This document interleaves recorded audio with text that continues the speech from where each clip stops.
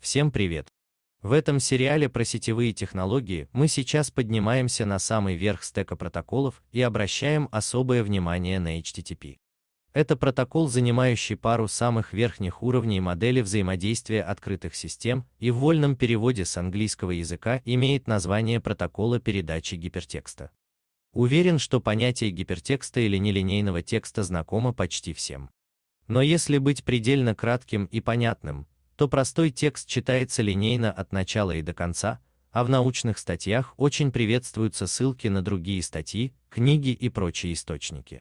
Если читатель во время изучения одной статьи захочет поглубже ознакомиться со ссылкой, то он может очень быстро перейти по ней, в необходимой степени ознакомиться с материалом и вернуться обратно к чтению основной статьи. Как можно понять, с бумажными источниками информации это делать не слишком удобно. Но с появлением массовых настольных компьютеров ученые самыми первыми оценили достоинство нелинейного чтения текста и все удобства, предоставляемые вычислительной техникой. Разработанный учеными формат гипертекста и программа для его отображения, называемая браузером, оказались полезными не только научному сообществу но и спустя несколько лет пришлись по вкусу массовому потребителю, получившему доступ во всемирную паутину. Для начала предлагаю бегло осмотреть устройство этого гипертекста. Для этого отмотаем 30 лет в прошлое и окунемся в особенности разметки документа, давшие возможность нелинейного чтения. Текстовая информация снабжается так называемыми тегами, дающими браузеру необходимую информацию о том, как отобразить ту или иную информацию, выделить заголовки, поместить тезисы в список, отрисовать таблицу и другие возможности.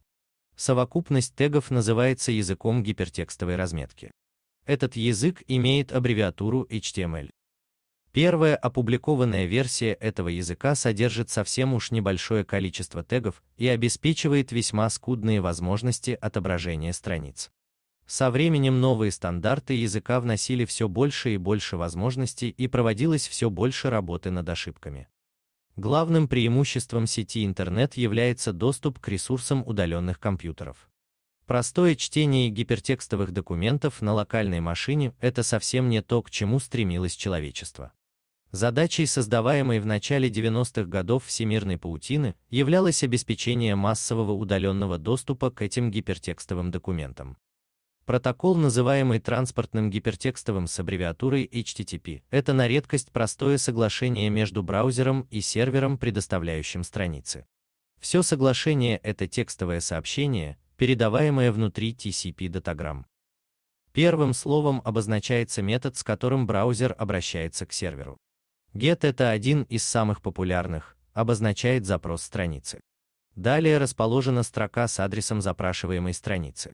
После версии протокола транспорта гипертекста следует доменное имя сервера для тех случаев, когда на одном физическом сервере развернуто несколько веб-сервисов. Далее расположена дополнительная информация, касающаяся допустимого мультимедийного наполнения страницы, предпочтительного языка, способа сжатия данных, параметров запроса и с помощью какого браузера был совершен запрос. Ответ сервера начинается со строки статуса и продолжается заголовком с важной для браузера информацией.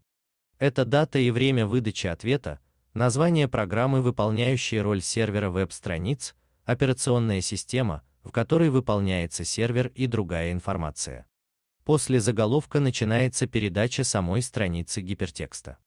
Метод head позволяет получить только лишь заголовок страницы.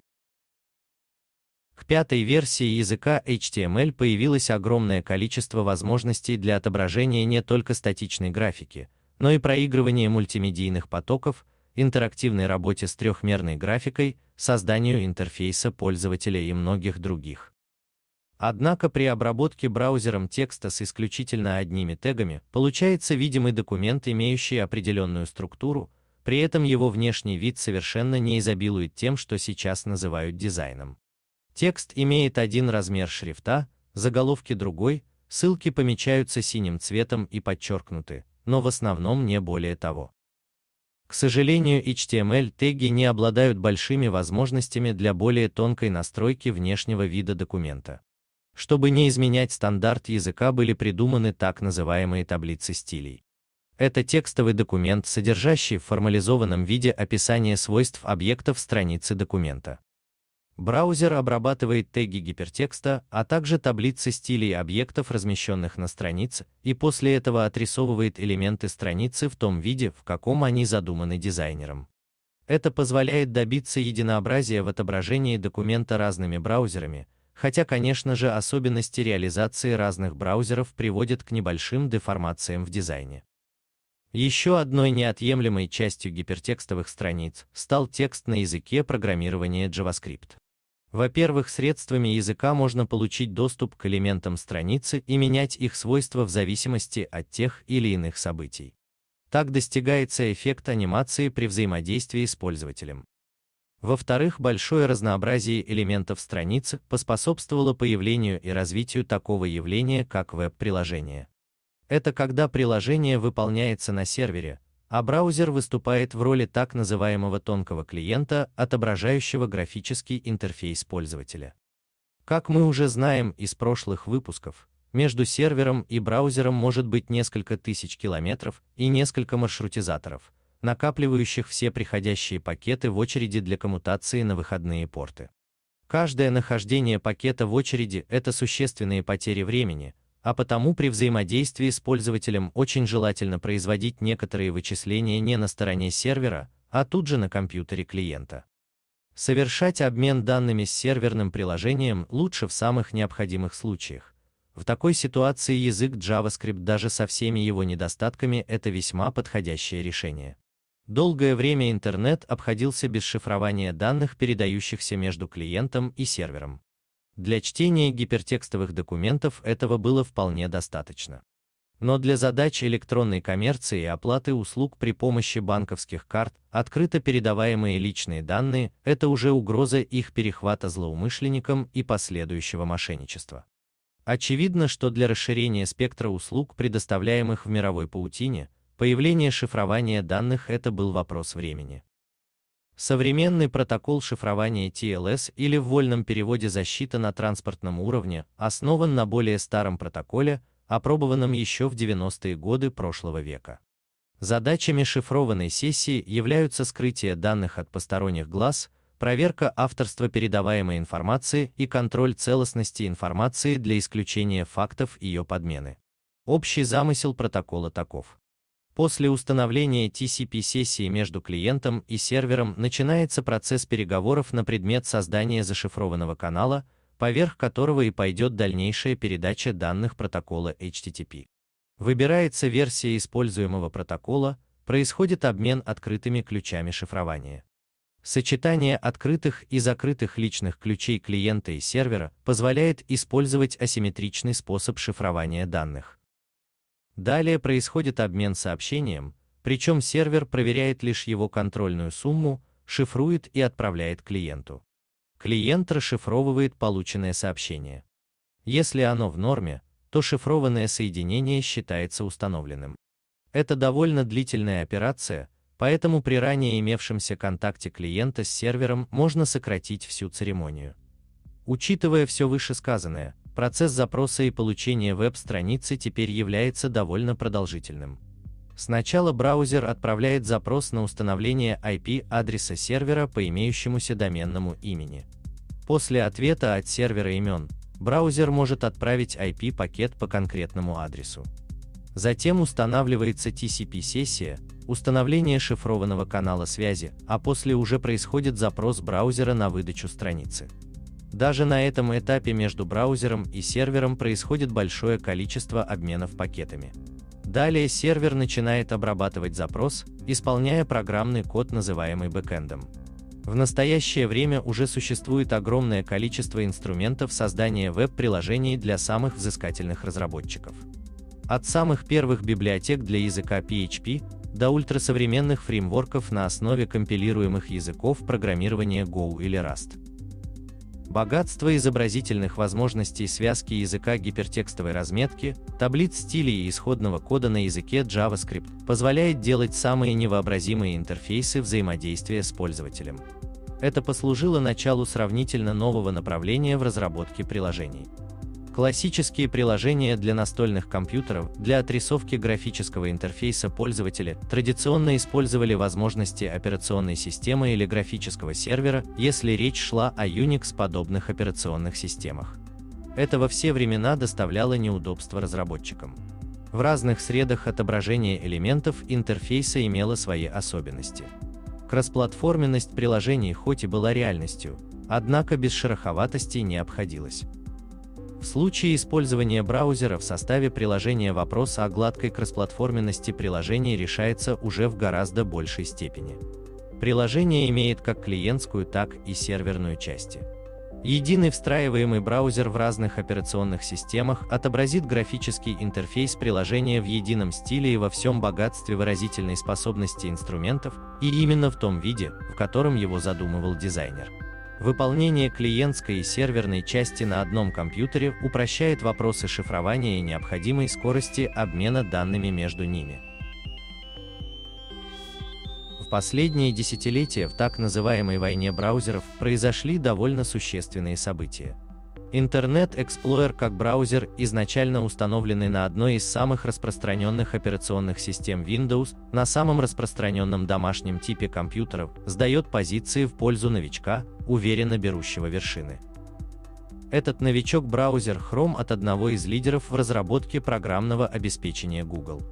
Их браузер это сам по себе очень хороший продукт, но всегда оставался вопрос, какую пользу приносит компании бесплатный браузер, на который потрачено уже астрономическое число человека-часов самых высокооплачиваемых программистов этого мира.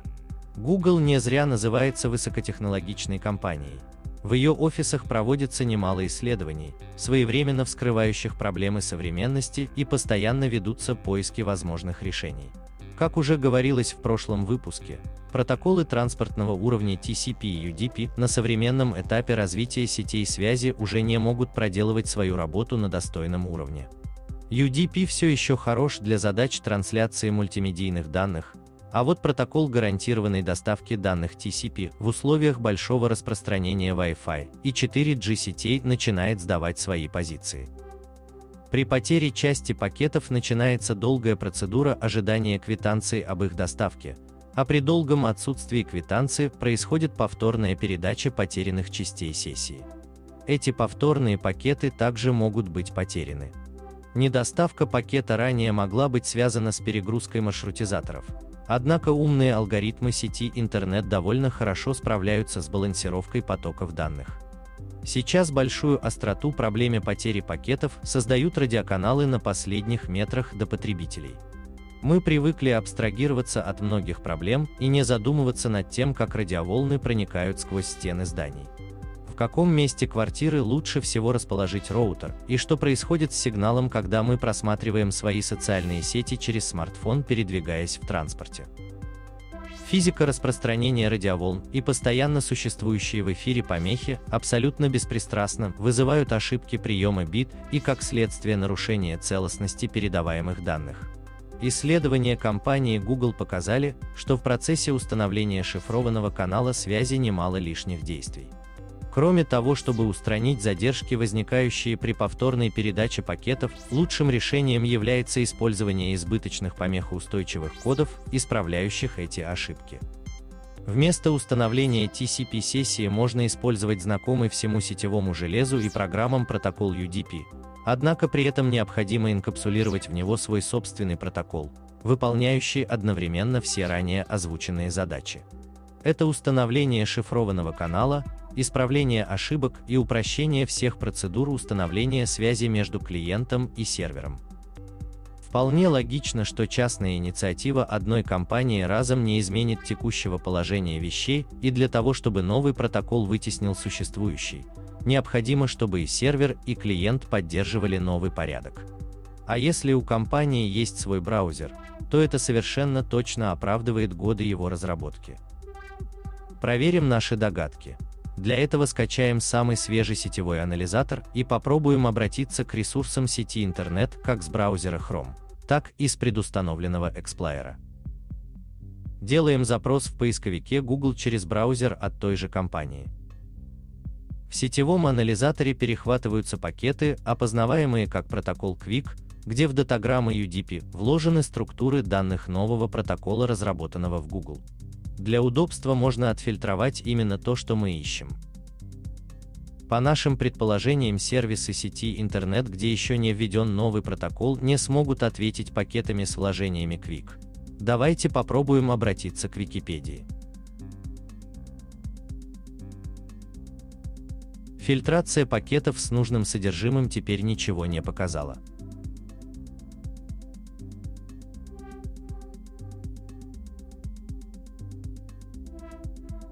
Теперь берем Explorer и обращаемся к поисковику Google. По задумке сервис поисковика в заголовке запроса распознает браузер и его неготовность к приему пакетов с новым протоколом транспортного уровня.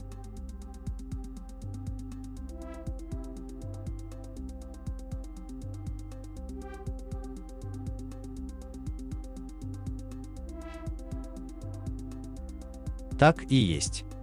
Поисковик Google отвечает пакетами со старым стеком протоколов, устанавливая TCP-сессию и шифрование при помощи протокола TLS. По сути догадка находит подтверждение. Осталось только тщательно исследовать статистику и найти ответы на все вопросы, в каких случаях новый стек протоколов выигрывает у старого. Видимо, только после получения убедительных доказательств самые технологичные компании начнут дополнять свой исходный код. Конечно же это касается и браузеров. Если не следовать моде сейчас, то уже для кого-то завтра может не наступить. Спасибо за внимание. Все самые интересные материалы выкладываются на ресурсе Пульс по ссылке в описании. Подписывайтесь на канал, чтобы не пропустить ничего интересного и до новых встреч.